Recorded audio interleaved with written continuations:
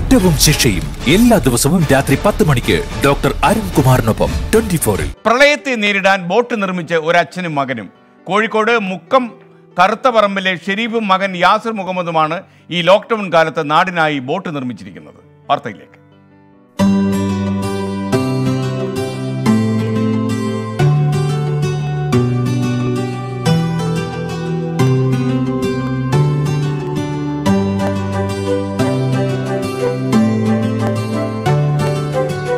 കഴിഞ്ഞ പ്രളയത്തിൽ കോഴിക്കോടിന്റെ മലയോര മേഖലയായ മുക്കത്തെ നിരവധി പ്രദേശങ്ങൾ വെള്ളത്തിനടിയിലായിരുന്നു. പ്രളയജലത്തിന് മുന്നിൽ പകച്ചു നിൽക്കുന്ന പലരെയും ഷെരീഫ് കണ്ടു.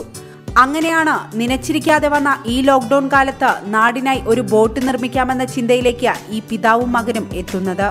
കഴിഞ്ഞ വർഷത്തെ പ്രളയ പ്രളയത്ത് ഞാനും എന്റെ മോനോ കൊടിയത്തൂർ എന്ന സ്ഥലത്തിന്. അത് നമ്മളെ സ്വന്തം നാടാ കൊടിയത്തൂർ അവിടെ ചെന്ന സമയത്ത് അവിടെ ഒരുപാട് ആളുകൾ കഷ്ടപ്പെടുന്നത് കണ്ടു.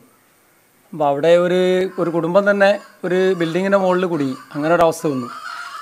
അപ്പോൾ ആ സമയത്ത് വന്നൊരു ചിന്തയാണ് എന്തായാലും വേണ്ടില്ല.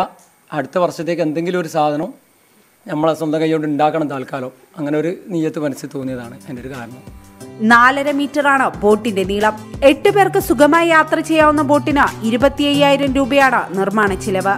മണ്ണെണ്ണയിൽ പ്രവർത്തിപ്പിക്കാവുന്ന ഒന്നര പി എച്ച് പി മോട്ടോർ ഉപയോഗിച്ചാണ് ബോട്ട് പ്രവർത്തിപ്പിക്കുന്നത്. ഇരുവഴഞ്ഞിപ്പുഴയിൽ ഇറക്കിയ ബോട്ടിന്റെ പരീക്ഷണ ഓട്ടം വിജയകരമായി നടത്തിയതിന്റെ സന്തോഷത്തിലാണ് ഈ പിതാവും മകനും.